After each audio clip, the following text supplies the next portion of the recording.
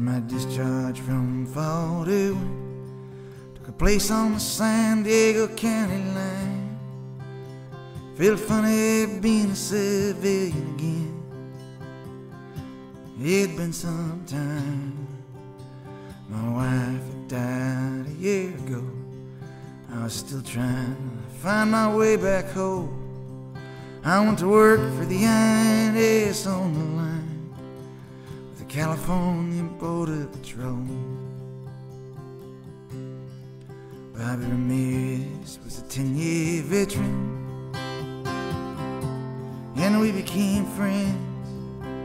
His family was from Guanajuato, so the job it was different for him. Said there is death in the deserts and the mountains. All they got to the smugglers' rings. Send them home, they come right back again. Carl hunger is a powerful thing. But I was good at doing what I was told. I kept my uniform pressed and clean. At night I chased their shadows through the arroyos and ravines. Drug runners, farmers with their families, young women with little children by their sides. Come night we'd wait out in the canyons, try to keep keep 'em from crossing the line. Well, the first time that I saw her, she was in the holding pen. Eyes met and she looked away. Then she looked back again. Her hair was black as coal. Her eyes reminded me of what I'd lost.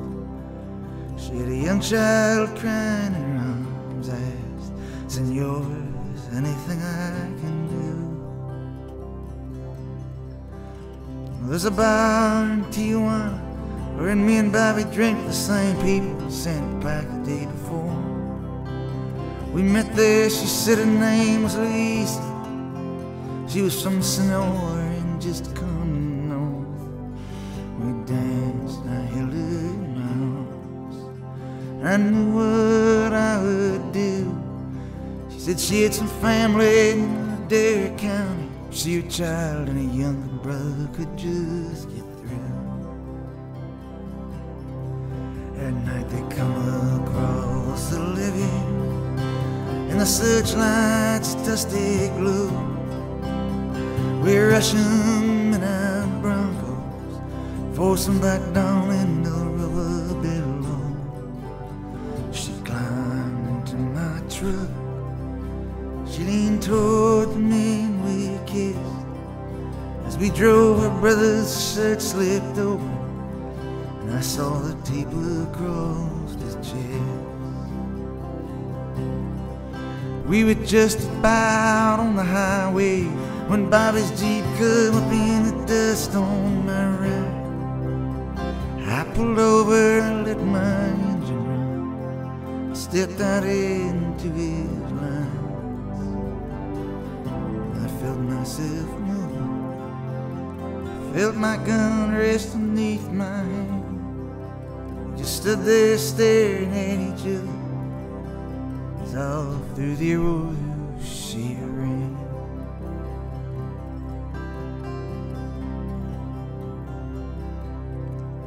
Bobby Ramirez, he never said nothing. Six months later, I left the line. I drifted the Central Valley and took what work that I could find. At night, I searched the local bars